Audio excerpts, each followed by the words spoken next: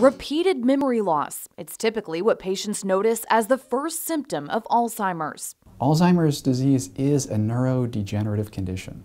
It is caused by an abnormal accumulation of proteins within the brain. Health experts say patients are typically over the age of 60 when they start to notice the symptoms. Other than memory loss, he says patients with Alzheimer's could have difficulty planning and prioritizing, trouble thinking, or even have behavioral or personality changes.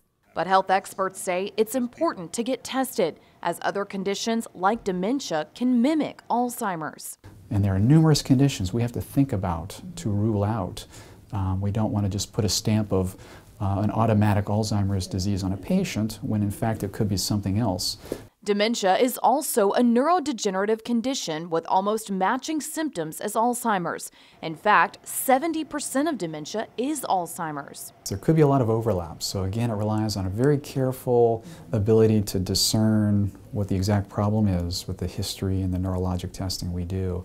Patients undergo extensive testing, including memory tests, brain scans, even blood work. The problem is there's no one single test by blood work or, or definite readily available test that will prove with 100% certainty that, that a patient does have Alzheimer's dementia. While Alzheimer's is a common diagnosis, health experts say there's limited treatment available, but a healthy lifestyle will help them manage their symptoms.